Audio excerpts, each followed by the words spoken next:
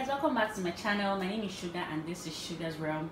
The feedback i got from the last two cooking videos i did were really exciting so i thought to throw in another recipe. Today we're going to be cooking banga soup. It's indigenous to the people of um, delta state. I think it's actually for the Urhobo people. I'm not sure if it's cut across Urhobo, Itsekiri and Ijaw and Isoko and all of all those but i know for sure that it is an Urhobo meal and Today I'm going to show you how to make it if you're not in Nigeria because in Nigeria it's a little more stressful because you have to do everything from the beginning. But this is the easiest way. Like this is so fast so easy so yummy.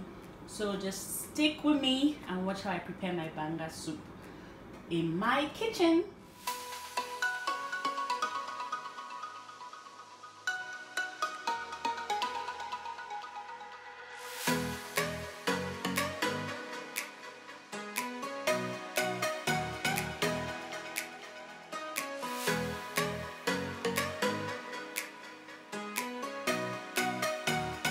okay guys let's start with the ingredients. Um for this soup i'm going to use catfish and snails. I already washed my catfish and snails.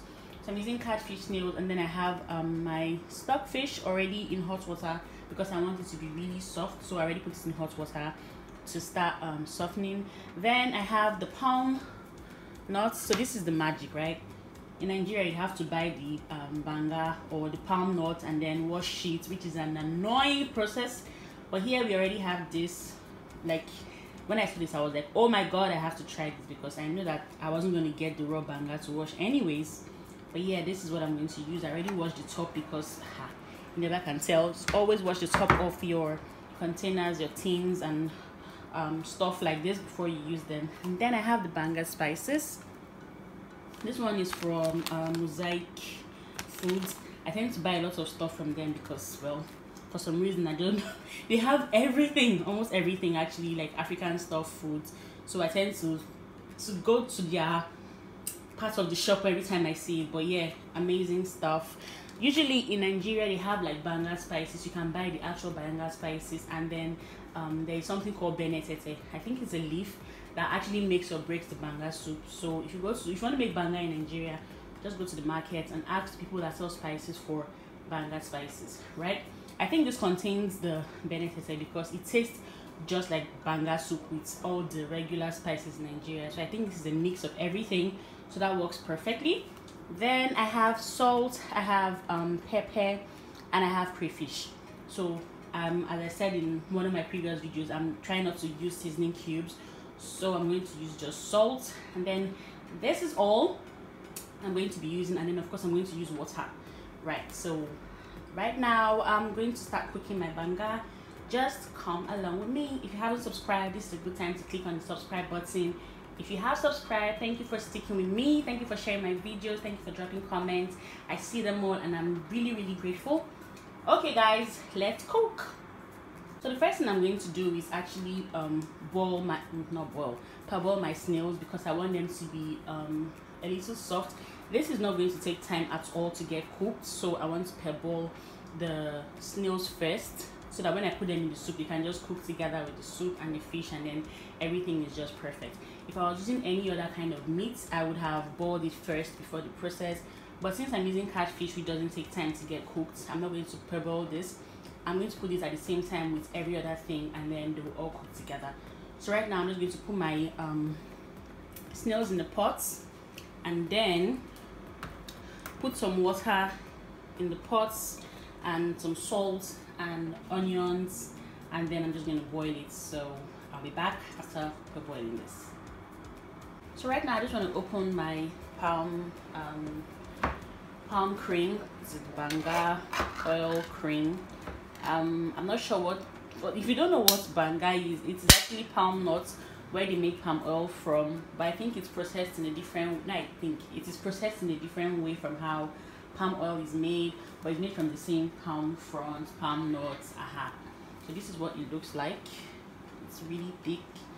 That's why i'm going to add water. If you're using the banga that you wash by yourself because i think people sell it sell like already washed banga in nigeria.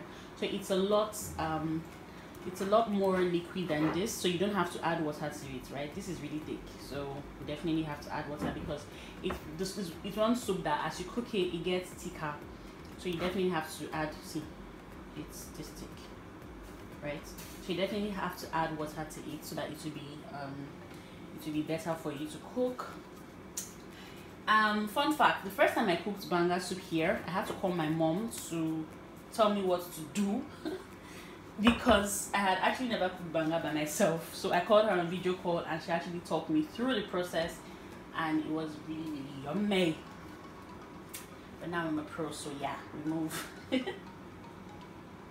so I'm done um, boiling the snails. Now I'm going to start cooking. I'm using these mighty pots because of the catfish. I want them to um, be able to contain into the pot properly so now i'm going to start with this i'm just going to empty it into the pot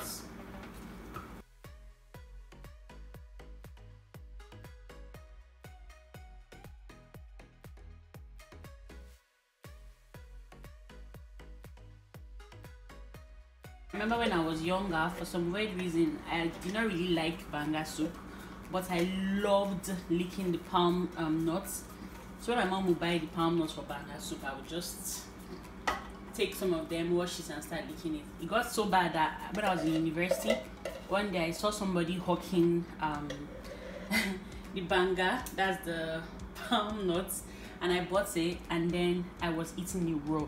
It was like I was eating palm oil, but I loved it. Like, oh my goodness. I'm sure if I still see raw banga to now, I'll definitely still eat it. It's amazing. Now I'm going to add water I said because it is thick like it is this thick. See can't follow this one. I'm going to add water. I can turn on the gas now. I'm going to add water. And then just stir it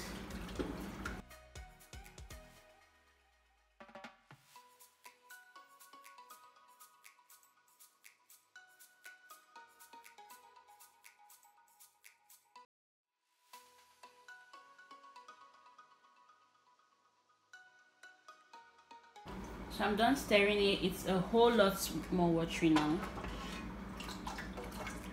So like when you wash the banga um, from the fruits it is just about this watery because you keep adding water and adding water and then um, you keep washing it right? So i'm just going to add all the ingredients right now into the soup so everything can cook together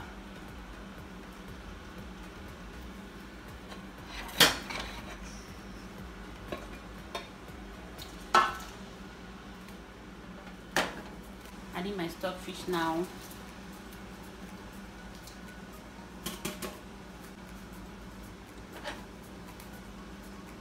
Adding my crayfish and my pepper. I'll probably add more pepper because this pepper looks like it's too small. And then I'm gonna add salt. I always like adding my um, salt in bits so I don't regret it and then I'm going to add the banga spices.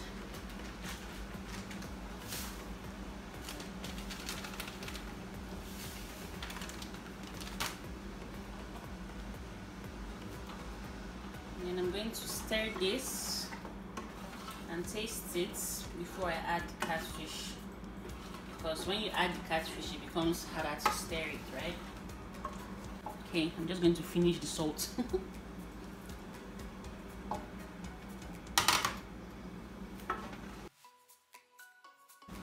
as I thought, I'm going to add more pepper and salt because there is actually no pepper. Perfect. So now I'm going to add my catfish and then just let it cook.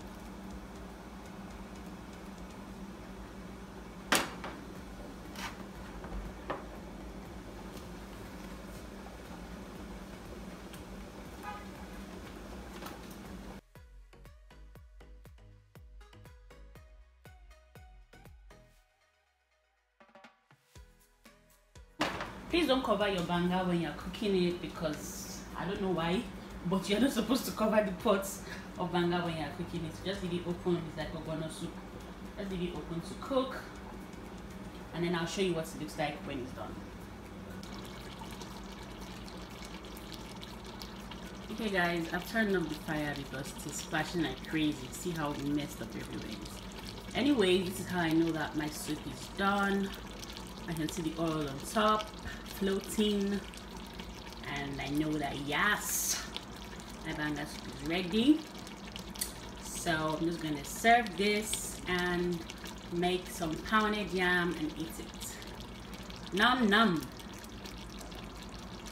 okay so this is what it is like now see it's a lot thicker than how it was oh, at the beginning thank you for watching guys i'm just going to show you guys how it looks like when it's served. Thank you for watching to this point. Thank you for subscribing because i'm believing that you have subscribed if you hadn't already before. Also let me know if you want me to make something else like show you guys how to make something else and i'll definitely do that. That's if I can make it or if I cannot make it I will tell you.